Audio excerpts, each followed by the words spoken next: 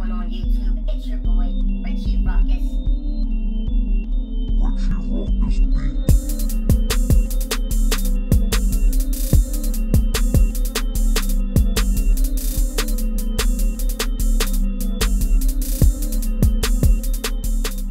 What's going on YouTube? It's your boy Richie Rukkus. We are back here today. It is Thursday, January 18th, aka Air Max 98 Gundam release day. Sadly, this video is not a review of them sneakers, but it is an unboxing, review, and on feet of a different pair of Nikes that I was able to cop in yesterday's vlog. Before we jump into this unboxing, two quick things. One, make sure you hit that subscribe button if you're not already subscribed to my channel. Make sure you hit that thumb up if you're feeling this video. And follow your boy on all social. Number two, the Richie Rukkus Sneaker Things Seinfeld tee is dropping on February 1st at 12 p.m. Eastern Standard Time. RichieRukkus.com. They're ranging from a size small to a size 5X. They'll be retailing for $20 and I do ship internationally. I went to the mall for a totally different reason. I actually wasn't even there to grab sneakers in the first place. I mean, I was doing my usual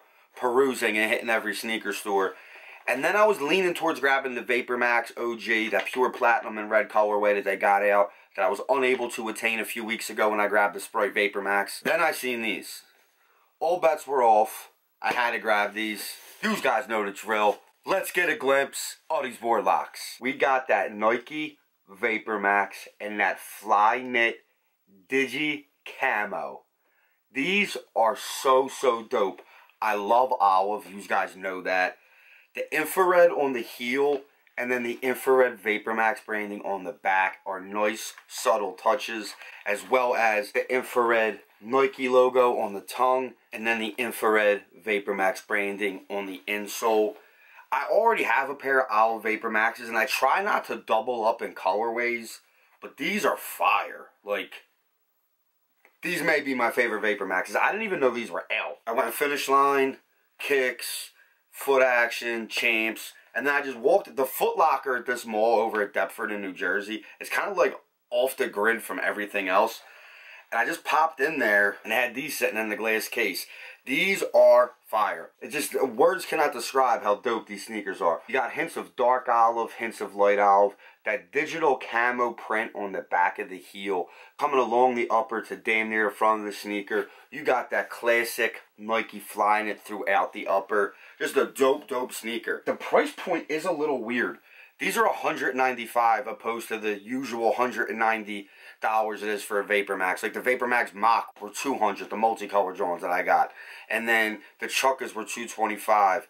The utilities are 220. Just weird the price point of just making us five dollars more, I guess, for the camo print. The only thing I will say, if these had an olive airbag, they would be untouchable as far as just their dopeness.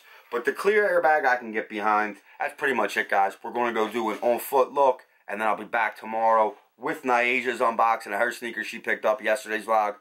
But until then, I'm Richie Rukkus. Play this record as frequently as possible.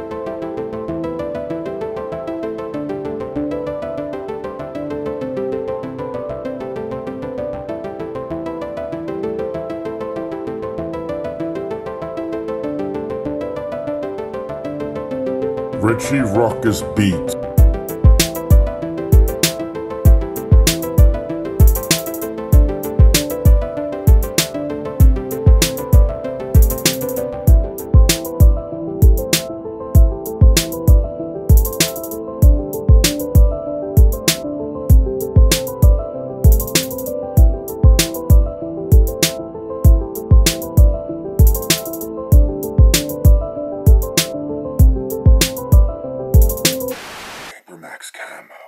Oh, this. Holla.